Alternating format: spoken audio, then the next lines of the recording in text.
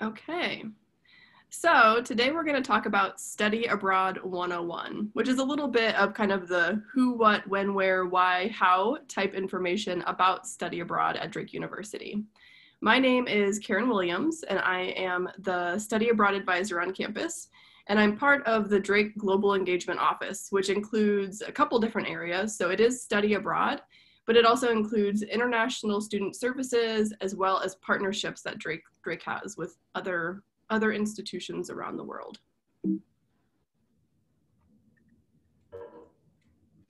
Here's a quote that I like. And then I realized adventures are the best way to learn. So really, ultimately, study abroad is about studying somewhere, um, or there are other types of learning experiences as well. So Drake not only has study abroad, but we also have internships abroad, service learning abroad, um, so different types of experiential programs are available to students who want to go abroad. Here's a little bit about the study abroad team specifically. So again, my name is Karen. I work with students on campus. So really when you're going through kind of the application process and exploring different program options, typically you're going to be working with me. Nathan Jacobson is the coordinator. And so his role is to help largely do a lot of logistics related to Drake administered programs. So if you're thinking kind of the J term programs and May term programs, Nathan does a lot of the logistics on that. So sometimes if you're doing a Drake program abroad, you might work more with Nathan. And then Maria Rohatch is our director. Our office location, so currently we're on um, 25th Street, which is kind of by Ghazali's, if you know where that is, but also public safety, communications. Um, but we plan on moving this academic year and we're going to be moving to the library. Um, so just kind of an FYI, depending on when you come and visit our office, we could be on 25th Street or we could be at the library. So why study abroad? I feel like this is a good kind of driving question as you get started with thinking about really if you if you know why you want to go then it usually helps answer some of the other questions um, that come up along the way which is oftentimes like where should i go? When should i go? If you know the why that's a, a really good driving question to ask at the beginning. So generally i think one of the like the biggest whys is that study abroad really encourages students to find themselves um, so what this means is for a lot of students when they study abroad, especially if they do a semester program, it might really be the first time that the student is living completely on their own um, for the first time in their life.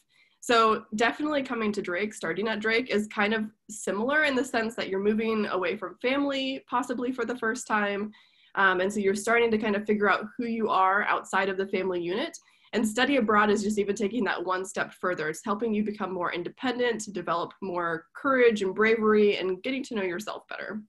Um, study abroad is also challenging, but really rewarding. Um, and again, I think that kind of ties back to that level of independence that you have in a study abroad experience. Um, it can be challenging to do so many things on your own, but then I think it also gives people a lot of pride that like they realize like, oh my gosh, I can do all of these things on my own. Um, you can take courses that are not available on Drake's campus. So depending on um, you know your area of study, different programs might be better suited for what you're wanting to do in the future. It can help set you apart in the job marketplace. So again, like having these experiences, um, having it on your resume can help kind of set you above other candidates who may not have studied abroad. And lastly, um, many students develop improved communication skills, leadership skills, decision-making abilities. Those are all things that um, students commonly state that they have improved as a result of studying abroad. Questions to consider when choosing a program. Um, so this is kind of just outlining, again, like as a starting place, what should you be thinking about early on? So as you're going through um, you basically like your program at Drake, starting to think about what are my academic, professional, and personal goals in the future. And you really want to find a study abroad program that's going to enhance that. So even if you have maybe like a dream location that you want to go to, um, even within that country, oftentimes there might be a couple different program options. And so thinking about what those academic, professional, and personal goals are can help really narrow down the best university option for you um, while you're abroad. Um, thinking about world region, country that you feel drawn to, especially if you're studying a language, can be really important. Um, thinking about how long you would like to be abroad, when you want to go abroad, those are also important questions. And then lastly, do you want to do an experiential program alongside study abroad? Um, or in some cases, it actually can be standalone. Some students go abroad during the summer and just focus on doing an internship only and not the study abroad piece. Um, the nice thing is internships can also, in some cases, be worth credit. So it's kind of nice that you can choose to do an internship either for credit if you if you want the credit or need it. Um, but then sometimes students just really want the experience, and so they do it not for credit, which saves some money. Program options. So there are a lot of program options at Drake. And so kind of broadly, there are three program models. So we have Drake programs, which are typically either faculty or staff led. So again, thinking of J-term programs, May-term programs, um, that's, that's what most of the Drake programs are. We are increasingly doing Drake semester programs as well, and those also have either a Drake faculty or staff member going along. Um, so that's one model. Exchange programs is another one where we actually partner with specific universities overseas, and those students from those universities come to Drake, and then Drake students go to those universities overseas. So in, in other words, you know, really kind of exchanging places. And then we also have affiliate programs, which are outside organizations. Those are really, the nice thing about those is that they offer so many different locations and majors. So it kind of helps fill the gaps. So we have, you know, these Drake programs, we have exchange programs, but then if we have certain countries that students are asking to go to, but we don't have a Drake program or exchange program, our affiliates oftentimes fill the gap in terms of program options types of programs. Um, so kind of below that. So again, there's study options, which is kind of the most traditional, um, you know, method of going. And so especially if you're doing um, like a semester abroad, typically you're doing a study abroad program where you're earning at least 12 semester credits while you're abroad. But then thinking about do I maybe want to add something on like an internship, service learning, volunteering? Do I want to do research abroad? Um, for some students who end up in graduate programs, there are also pharmacy rotations, occupational therapy rotations, teaching placements. So there's even more kind of professional development opportunities as well. Program length, it varies anywhere from about two weeks to an entire academic year abroad. And then there's also many post-graduation opportunities. So if you decide that you don't want to go abroad while at Drake, um, after graduation, there's also teaching abroad, working abroad, and then there's different fellowships and scholarships as well.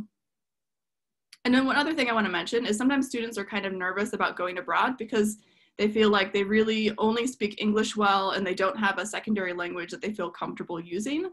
And I want to make sure students know that many of our program locations, even in you know non-English speaking locations, there are a lot of universities that offer coursework in English. So even if you've always dreamed of studying in a place like potentially China and Italy, um, Argentina, there are programs that are available where you can you can choose to study the language alongside taking elective courses in English. So that that also opens a lot more doors for students academics. So with Drake programs, because they are Drake faculty-led programs, they are available for Drake credit, which is very nice. Um, that means that they do factor also into your Drake GPA, and you can easily see how the course is going to fit in your degree plan because it's a Drake course. Exchange and affiliate programs count as transfer credit, and they do not factor into your GPA, but the grades are visible on your transcript. So if you want to apply to graduate school at some point, um, be aware that the grades will be visible, although they will not factor into your Drake GPA. Um, with exchange and affiliate programs, you'll want to make sure that you meet with your academic advisor to get pre-approval for the courses that you would like to take abroad. And then lastly, if you can, try to save some AOIs because that gives you a lot more flexibility in terms of where you can go abroad um, as well as, but additionally, in addition to AOIs, you can take major and minor related credits. So don't feel like you just have to do AOIs and like gen ed stuff abroad. You can take stuff related to your major and minors. I like this quote too. Travel is the only thing you buy that makes you richer. So kind of thinking in, in line of experiences that you're having um, that those things really contribute to your overall well-being beginning to plan so making sure that you talk with your academic advisor early on um, that's really important so you know if you think about it at this point especially being freshmen um, you can start to talk with your academic advisor and then choose when would be the best time within your degree plan to go. So some students have very, very busy academic schedules and need to do a short-term program. Um, but in some cases, you know, if you want to do a semester abroad, then if you work with your academic advisor, um, you can really decide what semester would be the best one to go abroad. Also, talking with me, the study abroad advisor is helpful. Talking with professors can be helpful because they can have an idea of where previous students have gone talking with other Drake students who have studied abroad. That can be really helpful as you start to kind of decide what location is going to be the best for you. And then, of course, discussing and reviewing finances. Um, so the financial aid office at Drake will review the program costs with you once you've decided on a program, and then they can apply your specific financial aid package to the program that you're looking at. We also recommend that students apply for Drake Global Learning Scholarships and potentially outside scholarship sources as well. So getting into that just a little bit more, cost and scholarships. So program costs vary considerably. Drake short-term programs tend to be the most affordable. Um, so that's really nice, but then it can be considered as if it's a short-term program like a J term or a May term, it's really in some ways considered additional expenses because it's on top of the two semesters that you would have already been attending university. Um, with the Drake short-term programs, students pay the cost of travel, but they actually don't have to pay for tuition because it's included in semester tuition. So that part is a big money savings. So if you're thinking about doing short-term programs, um, doing a Drake one can be really helpful.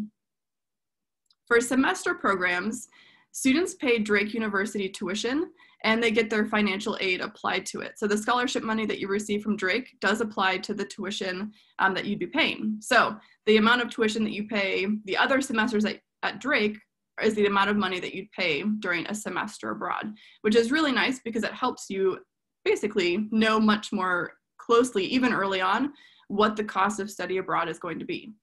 The part that varies is the room and board and other non-educational fees. Um, so like health insurance is another one that's included in there.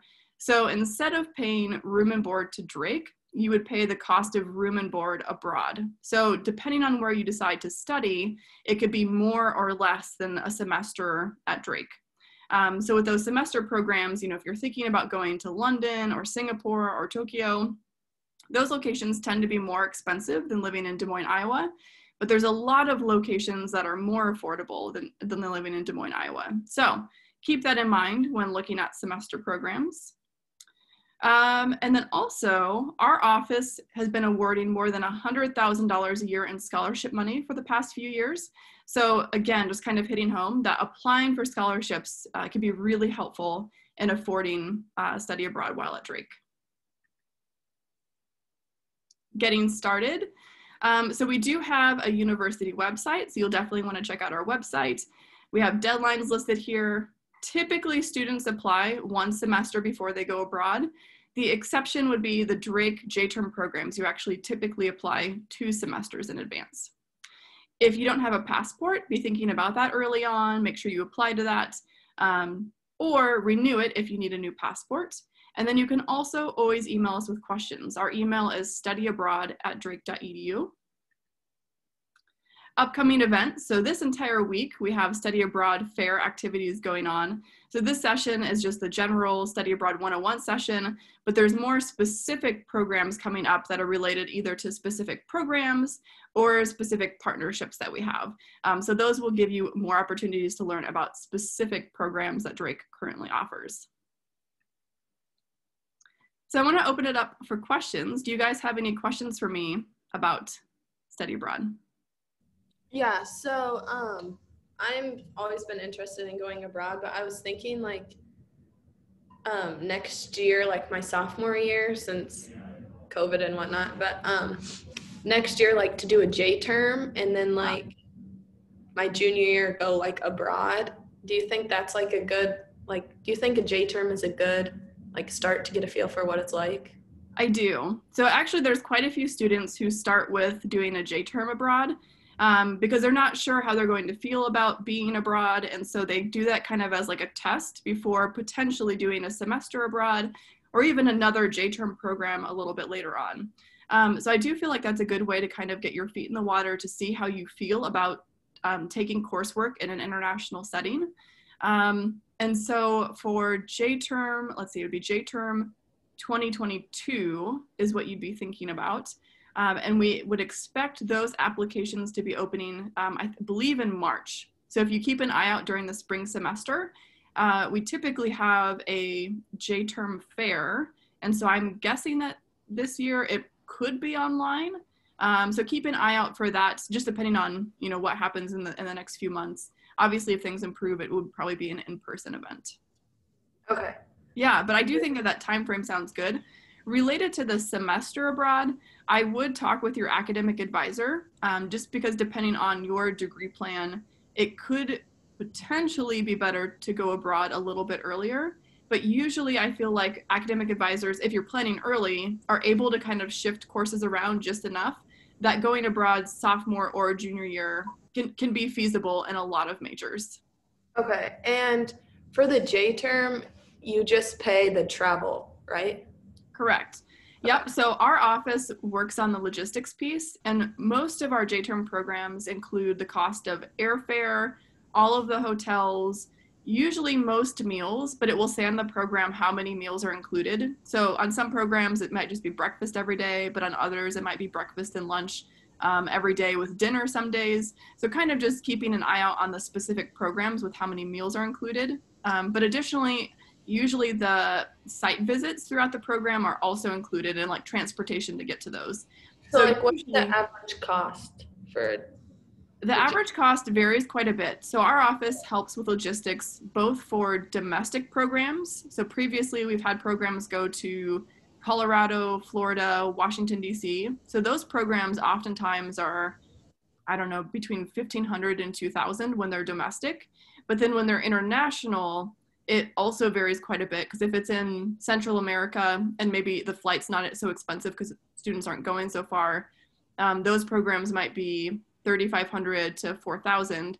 But some programs, um, like I know we've had a program going to New Zealand, which just the, the cost of the airfare alone, you know, drives up the cost of the program quite a bit.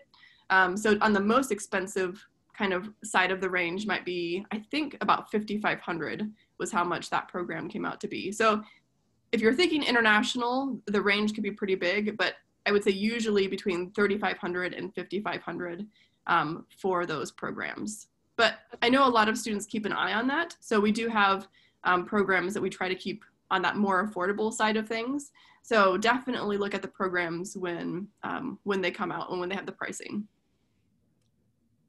Okay, so then also when you apply to go on a J term or just to study abroad, is that the same time that you would apply to the scholarships?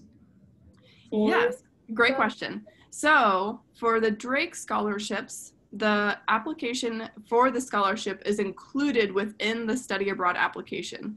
So when you click apply now on the study abroad program, one of the forms within the application is the study abroad scholarship application. So usually it depends a little bit because there are some different scholarships that you can apply to. So you can complete um, either just one essay or a couple essays if you want to apply to all the scholarships. That's one of the key criteria that we're looking at. So make sure that you write a strong essay when you're applying to the Drake scholarships. That's what the scholarship committee is um, one of the primary things that they're looking at when evaluating those applications. Um, some of the scholarships also are based partially on financial need. So that's also something that we look at for those scholarships specifically but there also are national level scholarships that are available. Um, and so it, each one has, of course, slightly different criteria, but I can work with you one on one to maybe identify some other scholarships that would be good to apply to as well. Okay. Um, do you know where the J term is going next year? For the next cycle, um, I believe actually because J term 2021, the one that's coming up in a few months, was canceled, many of those programs are rolling over to J term 2022. So the programs, so each faculty was able to decide um, how they wanted to like modify their program or if they needed to cancel it for, for a variety of reasons. Um, so a lot of the programs are rolling over, um, but faculty are still working on, like new faculty are still working on um, submitting some applications for new programs. So I believe if you look on the Study Abroad website and then you do a program search, you'd be able to see the programs that we had intended on going um, this upcoming January. And so many of those will be, um, we'll still have spots open. And so if you want to look at those and apply to those programs, um, and I think we'll have a few new ones additionally also going in 2022. Awesome. So we'll just apply in March then. Yes. So usually what Drake does is they actually have kind of like a big unveil of the study abroad J-term programs that are happening at the J-term fair. But of course, this year is just a little bit different with COVID. Um, you know, we didn't want to cancel the programs that students were already interested in and that we had designed. And so it's just a little bit unusual that we're rolling, you know, many of those J-term programs to the following J-term. But of course, students who are seniors this year um, you know, they had to withdraw from the J-term programs that they were planning on going on in a couple months. So that opened up spots on a lot of the programs. All right. Do you have any other questions? No. Okay. Um,